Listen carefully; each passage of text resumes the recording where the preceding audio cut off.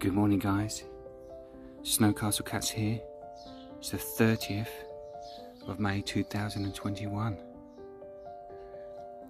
I hope you're all keeping well. Today we've got two cats out in the garden. Little Roxy here. She's so timid. Roxy, you're so timid. Aren't you? Eh? Hasn't been out here for a few days.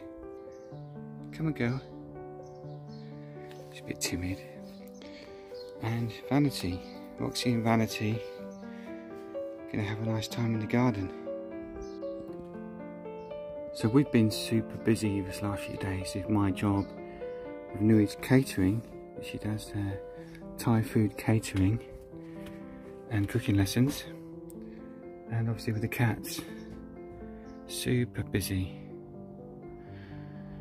So unfortunately with the kittens that we had, we've only got one surviving kitten from this latest batch, so to speak, if you can call it a batch, but you know, this latest breeding session, we've only had one survive, which is really sad. And um, I'm to post some videos of that one surviving kitten uh, probably over the next few days. I think me and Nui both need a couple of days to you know get past it and focus on the other cats and focus on the one kitten that we've got left. Unfortunately, unfortunately uh, Brittany's kitten didn't uh, survive.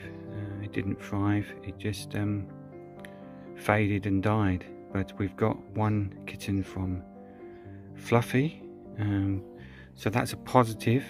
Both mums are well, so that's a positive.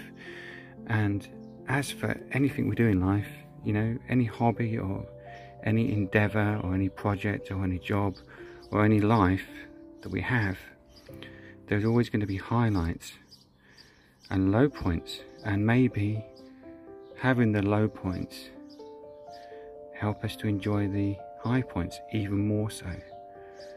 Um, and yeah, on Snowcastle Cats, it's a lot of positive, great videos. We think, I think, I try and make them positive and great. Um, you know, just daily vlogs. But um, sometimes they're not always going to be, you know, the most fantastic ones, joyous, joyous occasions.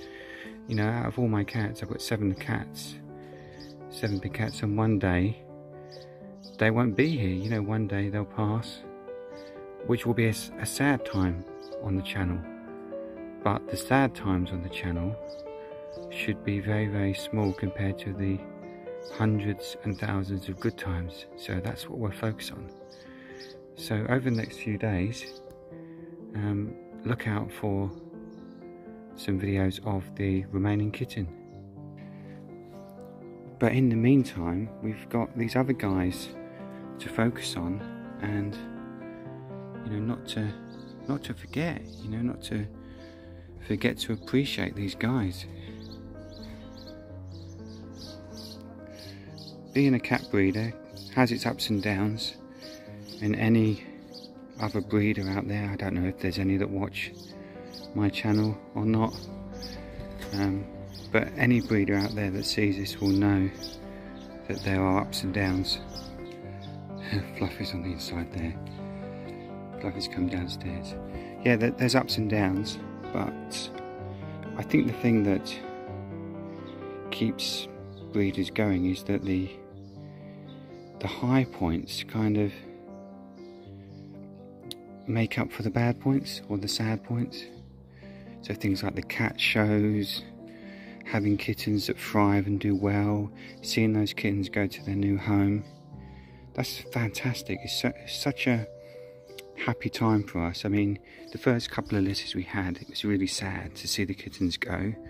There's a few tears before bedtime, but on the on the future litters, after about the second litter, it's one of our favourite days when their kittens go to their new home because the excitement of having a family come and pick up the, the kitten and taking the kitten and within 24 hours saying this is a fantastic kitten. We can't believe how well she's settled in.